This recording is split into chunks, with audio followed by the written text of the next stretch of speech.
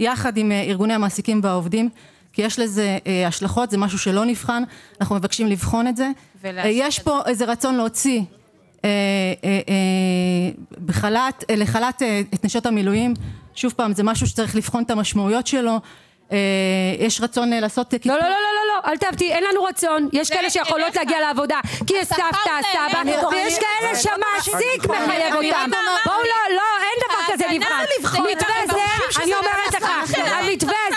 בלי המילואימניקים והגנה על הנשים שלהם מפני פיטורים ושיקבלו שכר לא שווה שום דבר. אל תעשו לנו טובה ותגידו אנחנו נבחן אני רוצה את זה בתוך המתווה הזה. אוקיי עושים עכשיו טובה לחברי כנסת. מילואימניקים תוך כדי לחימה. חייב להכניס בתזכיר חוק את ההגנה ובמחיר הזה את השכר. זה מה שאני אומרת, תזכיר ברווחה, מכניסות את ההגנה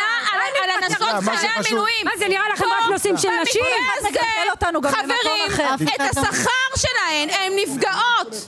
לכן